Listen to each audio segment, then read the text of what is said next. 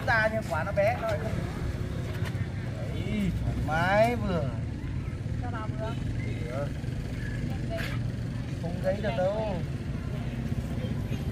Không gãy được đâu